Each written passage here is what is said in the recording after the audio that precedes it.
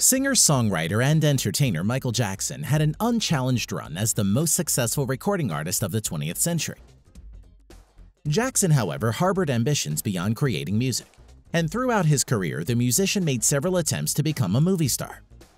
Owing to his distinctive appearance and persona, disappearing into a role was an uphill battle, though he continued to pursue it, even taking acting lessons from longtime friend Marlon Brando. His first taste of the silver screen came in the form of the film adaptation for The Wiz in 1978, where Jackson played a leading role as the Scarecrow. He was flooded with positive reviews for his performance, unlike the rest of the cast who were universally panned, and the film was considered to be a critical and commercial failure at the time. As his music stardom was catapulted into the stratosphere during the early 80s, his movie career inevitably took a backseat. His next solid attempt came in the form of 1988's experimental musical film Moonwalker.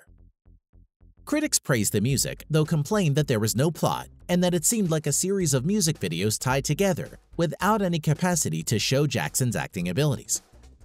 After his record-shattering Bad album and the extensive solo tour that ensued upon its release, Michael Jackson was riding high and looking for new creative challenges after conquering the music industry.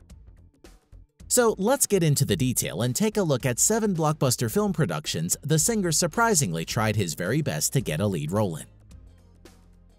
Edward Scissorhands 1990 A wild-haired, black-clad, misunderstood artist adrift in suburbia, Edward Scissorhands is clearly based on Burton himself as a teenager growing up. He and screenwriter Caroline Thompson had been developing the character and the story for years, but Burton waited until the enormous success of 1989's Batman gave him the clout to make the highly personal movie without creative interference. Michael Jackson caught wind of the character and expressed a keen interest in the role, lobbying himself to Burton over an extended period of time. But unfortunately, Burton never responded to Jackson's attempt, and Johnny Depp was ultimately cast in the role. Although there are many parallels between the character of Edward and the sensitive misfit, and Jackson's own public persona, even the way the character was dressed bared uncanny resemblance to Jackson's own stage attire during this period, questioning Michael Jackson's influence on the character development and they on him. Hook 1991 Jackson, who had long been obsessed with the idea of flying, took a special interest in Peter Pan, author J.M. Barrie's boy who never grew up.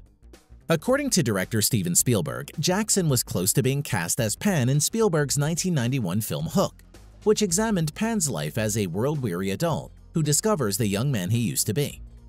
That twist was apparently disagreeable with Jackson, who didn't envision a revisionist Pan in the same way Spielberg did. Ultimately, the role would eventually go to Robin Williams.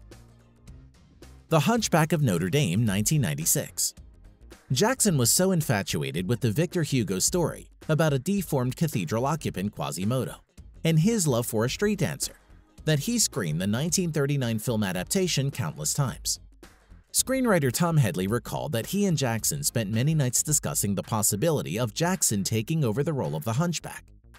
However, the project never got off the ground, and Hugo's story was later the basis for a 1996 Disney animated feature. Jack and the Beanstalk, never released. The project was part of a record contract Jackson had signed with Sony in the early 90s which also included film projects like Jack and the Beanstalk.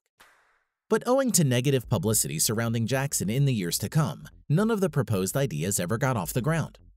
During a meeting to discuss film opportunities, Jackson allegedly, inexplicably placed his head on the table and began to cry uncontrollably. Star Wars Episode 1 The Phantom Menace, 1999 the critically maligned Star Wars prequel took a particular beating over computer-generated comic relief Jar Jar Binks.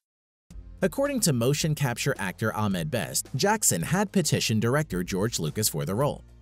Lucas said, well, Michael wanted to do the part, but he wanted to do it in prosthetics and makeup like Thriller. Best said, George wanted to do it in CGI.